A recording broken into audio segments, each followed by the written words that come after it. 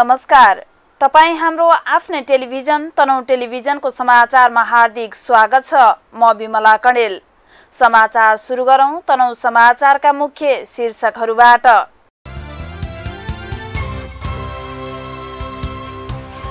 एक सय चौतिसौँ अन्तर्राष्ट्रिय श्रमिक दिवस मनाइयो। ट्रेड युनियन काङ्ग्रेसको जिल्ला अधिवेशन सम्पन्न। सत्यवती माध्यमिक विद्यालयका शिक्षिका पुष्पकला भट्टराई प्रधानाध्यापकमा नियुक्त। मर्स्याङदी जलविद्युतको ड्याम साइडमा बालक मृत भेटिए। तनहुङमा भिरबाट लडेर तरहुङको रिसिङ गाउँपालिका सात बाघ जरा बस्ने कृष्णकुमार थापाको मृत्यु। सरकार र महावीर पुनबीच सात बुधे सहमति माइती घरको आन्दोलन स्थगित।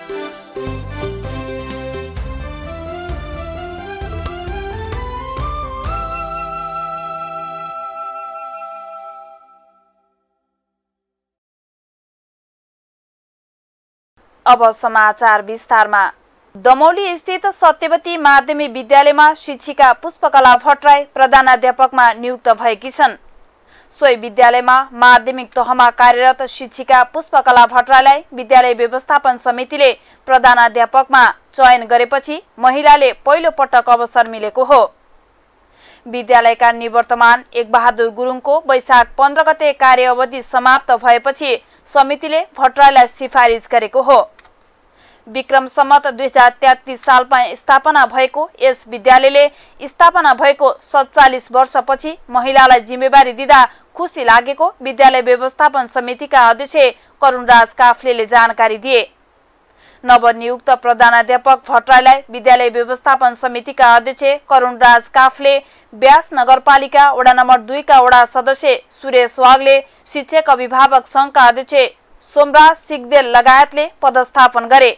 सो अवसरमा भट्टराईले सत्यवतीको गरिमा उच्च राख्ने गरी काम गर्ने बताएकी छन्। पदस्थापन कार्यक्रममा विद्यालयका निवर्तमान प्रधानाध्यापक एक बहादुर गुरुङलाई राम्रो कार्य गरे बापत दोस्रोला उडाएर सम्मान गरिएको थियो। सम्मान कार्यक्रममा पूर्व प्र इन्द्र प्रसाद पौडे लगायतले सफल कार्यकालको कामना व्यक्त गरेका थिए। प्रधानाध्यापक भट्टराईले अङ्ग्रेजी विषयमा एमफिल उत्तीर्ण गरेकी छन् भने विद्यावारिधीको समेत अध्ययन गरिरहेको बताइएको छ। वैशाख अठार गते अन्तर्राष्ट्रिय श्रमिक दिवस मनाइरहेको दिन सोमबार तनहुमा एक मजदुरको पर्खालले च्यापिएर मृत्यु भएको छ। बिहान दस तिस बजे ब्यास नगरपालिका वडा नम्बर चार बाग बजार स्थितमा रहेको दमली पार्टी प्यालेसको पर्खाल भत्काउने क्रममा मृत्यु भएको जिल्ला प्रहरी कार्यालय तनहुका प्रहरी नायब उपरीक्षक मोहन बहादुर खाँडले जानकारी दिए। तनहुको देवघाट गाउँपालिका तीन छिपछिपे स्थायी घर भई सदरमुकाम दमलीमा मजदुर काम गर्दै आएका वर्ष बत्तीसका भीमबहादुर गुरुङलाई पर्खाले च्यापिएर टाउको समेतको भागमा चोट लागि गम्भीर घाइते भएको र उपचारको क्रममा मृत्यु भएको प्रहरीले जनाएको छ। घाइते भएपछि गुरुङलाई उपचारको लागि दमोली अस्पताल लगिएकोमा आजै बिहान सभा एघार बजेको समयमा मृत्यु भएको र उक्त घटना सम्बन्धमा थप अनुसन्धान भइरहेको प्रहरीले जनाएको छ। तनहुको आबुखैरिनी गाउँपालिका दुई मार्की चोक स्थित मर्स्याङदी जलविद्युतको ड्याम साइड किनारामा एक बालक सोमबार बिहान मृत भेटिएका छन्। आबुखैरिनी गाउँपालिका छ ढेट गाउँ स्थायी घर भई हाल गोर्खाको गोर्खा नगरपालिका चौध याङकोटमा डेरा गरी बस्ने वर्ष पन्ध्रका सोमबहादुर गुरुङ मृत अवस्थामा फेला परेको प्रहरीले जनाएको छ। उक्त घटनाका सम्बन्धमा थप अनुसन्धान भइरहेको प्रहरीले जनाएको छ।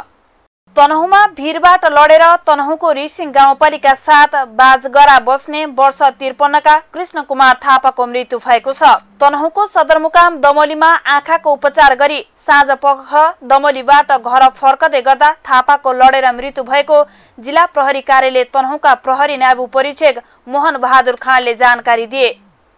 घर नजिकै रहेको चण्डी भैर सामुदायिक वनको गोरेटो बाटोमा शनिबार राति दस तिस बजे लड्दा एक सय मिटर तल पल्टी भिरमा रहेको रुखमा अड्किएको अवस्थामा फेला परेको प्रहरीले जनाएको छ।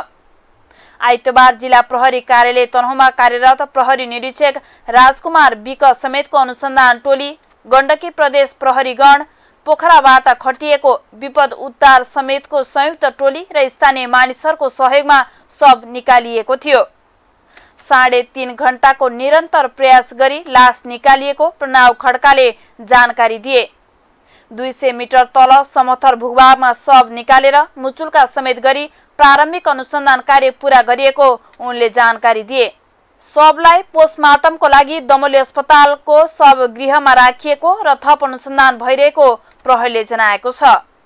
श्रमको सम्मान गरौं श्रम शक्ति नै राष्ट्रको शक्ति हो भन्ने मूल नाराका साथ नेपाल ट्रेड युनियन काङ्ग्रेस जिल्ला कार्य समिति तनहुँद्वारा एक सय चौतिसौँ अन्तर्राष्ट्रिय श्रमिक दिवस सोमबार दमलीमा मनाइएको छ। हरेक वर्ष मे एक तारिकका दिन मनाइने अन्तर्राष्ट्रिय श्रमिक दिवसका अवसरमा सरकारले सार्वजनिक विदा दिने गर्दछ। नेपाल ट्रेड युनियन काङ्ग्रेस जिल्ला कार्य समिति तनहुँको सोमबार नै सातौं जिल्ला अधिवेशन पनि सम्पन्न भएको छ। उक्त अधिवेशनको उद्घाटन गर्दै नेपाली काङ्ग्रेस तनहुका सभापति एवं प्रदेश सभासद जित प्रकाश आलेले पार्टी भातृ सङ्घ संस्थाहरू आगामी दिनमा थप सशक्त भएर जनताको घर दैलोमा पुग्नुपर्ने बताए। काङ्ग्रेसलाई जनताको हरेक जरामा पुर्याउने हो त्यतातिर ध्यान दिएर तपाईँहरू लाग्नुहुनेछ भन्ने मैले विश्वास लिएको छु।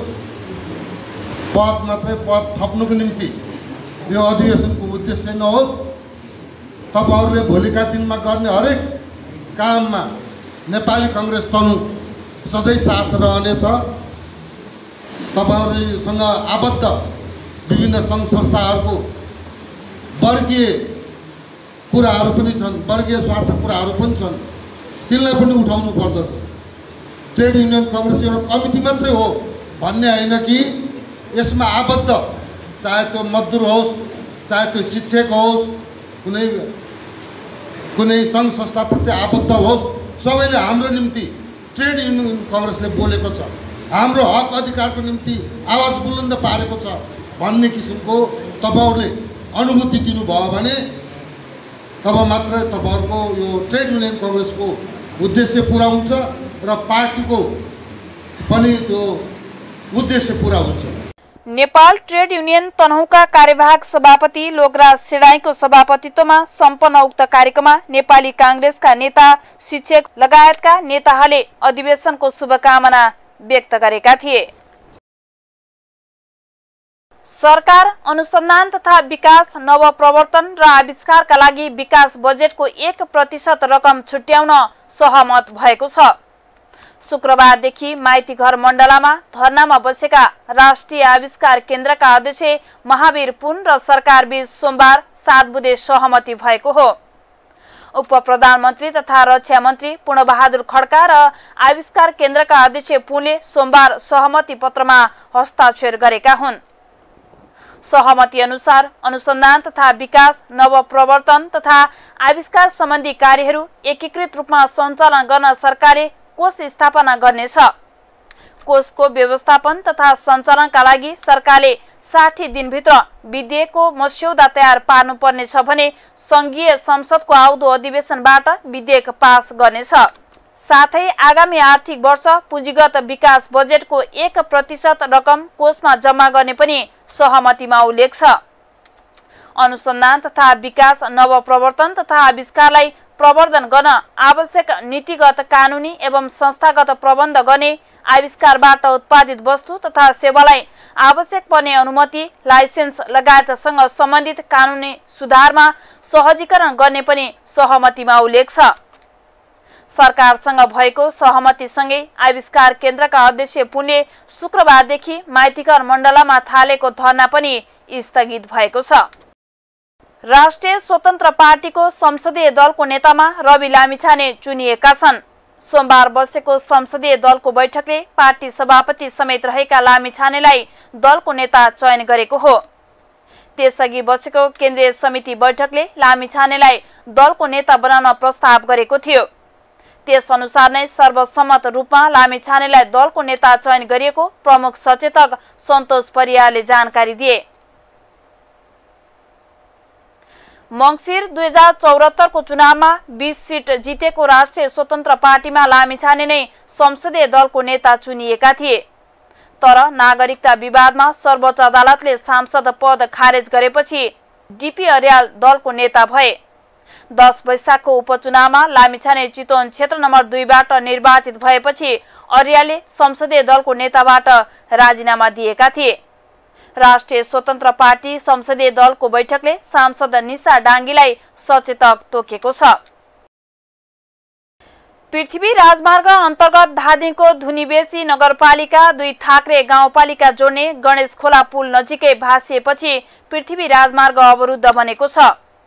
सडकको बीच भागमा ठूलो भुवाङ परेको र धुनी बेसी नगरपालिका छ धारके तर्फ।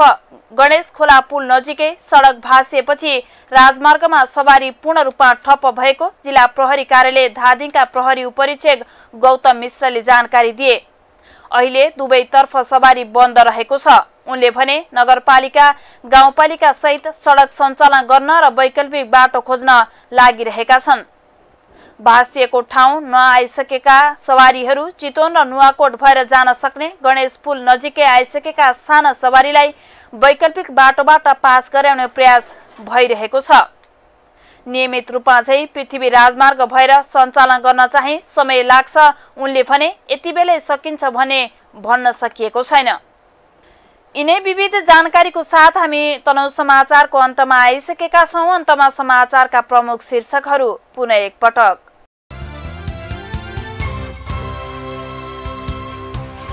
एक सय चौतिसौँ अन्तर्राष्ट्रिय श्रमिक दिवस मनाइयो। ट्रेड युनियन काङ्ग्रेसको जिल्ला अधिवेशन सम्पन्न।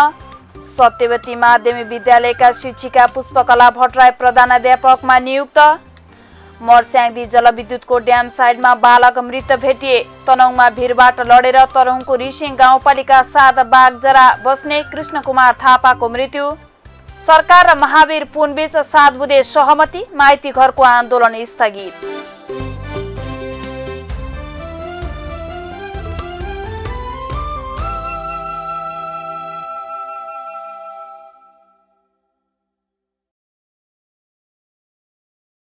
हवस् त। गाउँघर सहर बजारको समाचारको लागि हेर्दै गर्नुहोला तनहु टेलिभिजन। नमस्कार।